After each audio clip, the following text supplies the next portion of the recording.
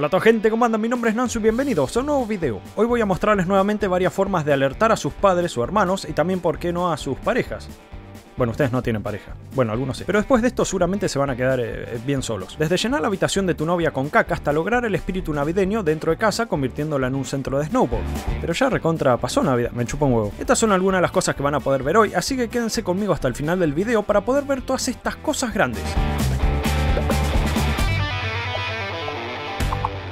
Voy a empezar con algo que les va a ablandar el alma. En el puesto número 10 tenemos a Rocky Kanaka, quien rescató de una perrera a este pobre bulldog francés que al parecer sus anteriores dueños, muy soretes, lo habían tirado por ser eh, un poco viejo y ya hasta tenía fecha de ejecución. Este es terrible como suena, ¿eh? Pero bueno, aunque Rocky solo lo salvó para después buscarle un hogar fijo, que está muy bien, para cambiarle ese estado de ánimo bajonero en el que se encontraba, decidió armarle un espacio enorme. Más grande que mi habitación, de hecho más grande que toda mi casa.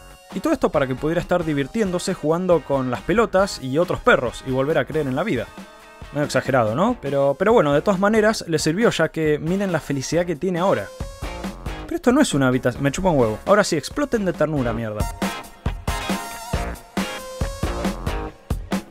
En el puesto número 9 tenemos a Gian Gigi, quien decidió hacerle una broma muy astuta a su novia. ¿Qué mejor que afianzar la relación llenándole toda la habitación con mierda?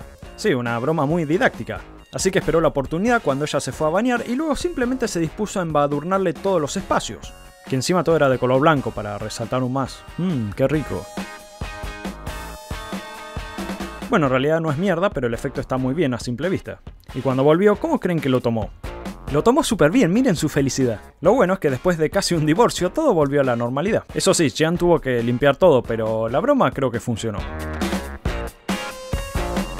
En el puesto número 8 tenemos a Roman Atwood, quien dijo, ah, me aburrí de tener tanto dinero, ¿por qué mejor no agarro a Logan Paul y a otros youtubers y les hago una broma con mi nuevo vehículo? Así que para hacerlo, primero preparó un lugar en donde realizaría el falso choque. La idea consistió en llenar un recinto con estos cartones de los rollos de papel higiénico y atravesarlo a través de una persiana de galpón falsa. Una vez que estuvo todo preparado, organizó los tiempos para poder realizar el supuesto paseo. Así que puso en marcha el plan sin levantar sospechas, y en un determinado momento del trayecto mandó el coche contra la pared y solo vean las caras de asombro. Debe ser terrible pasar por ese momento y encima no poder ver bien qué está pasando, ya que los rollos tapan los vidrios. Las caras de impacto son sublimes. Creo que Roman logró sorprenderlos y hacerles llevar un buen susto. Aunque Logan fue uno de los que mejor reaccionó ante la broma, ¿eh?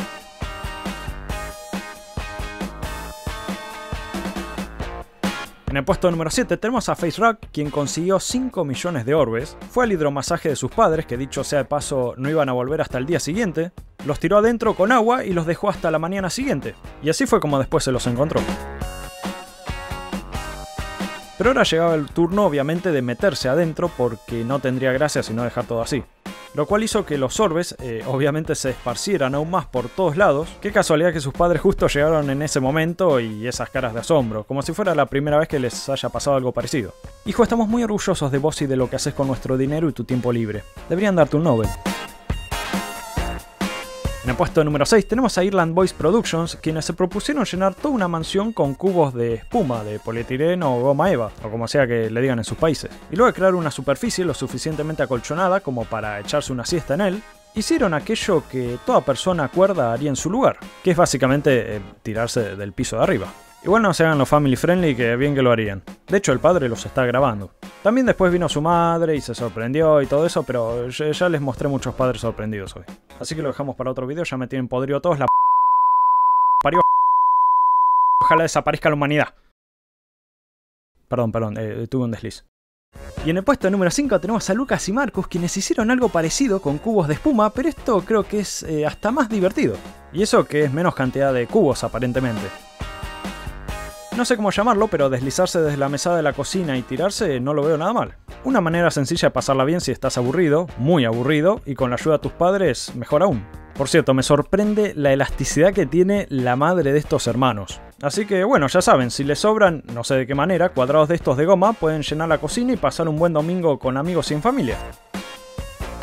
En el puesto número 4 tenemos a Funk Bros, quienes hicieron el clásico reto de llenar la habitación con almohadillas de unicel. Pero en este caso decidieron llevarlo a cabo en el salón de la casa. Y para lograr cubrir un buen espacio y conseguir una altura adecuada, echaron 10 millones de estas almohadillas. Por cierto, no pasó mucho tiempo antes de darse cuenta que suelen adherirse a todo por estática. Así que ya se imaginarán el trabajo que les debe haber costado limpiar todo después, fuera de cámaras. Así que los felicito más por ese reto, pero bueno, digamos que a esta altura eh, ya están acostumbrados. En el puesto número 3, arrancando el podio, tenemos nuevamente a Roman Atwood, pero esta vez convirtiendo la cocina de su casa en un centro de esquí o snowboard. Hay que tener una cocina grande para esto, ¿eh?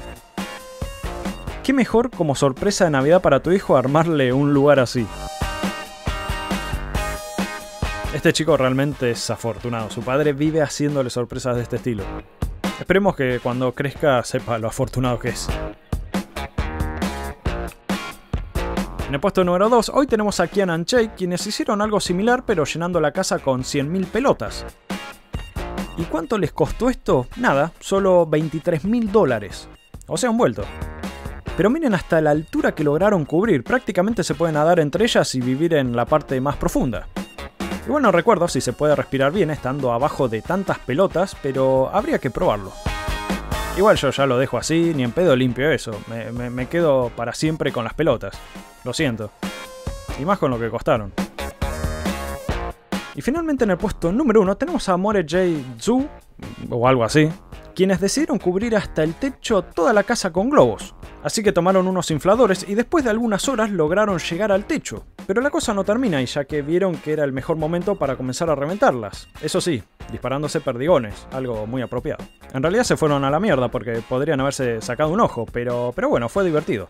A ver, como mucho te quedarán algunos moretones y no sé, recomiendo eh, ponerse lentes de protección tipo los de paintball, pero ya con eso eh, puedo asegurar que van a tener un rato de buen entretenimiento. Bueno gente, espero que les haya gustado el video, tienen el link abajo de negro oscuro, recuerden usar el código NANSU para obtener descuentos en cada compra, pueden seguirme en Instagram, comunidad y mis otros dos canales, y ahora sí, nada más, mi nombre es Nansu y nos vemos la próxima. Adiós.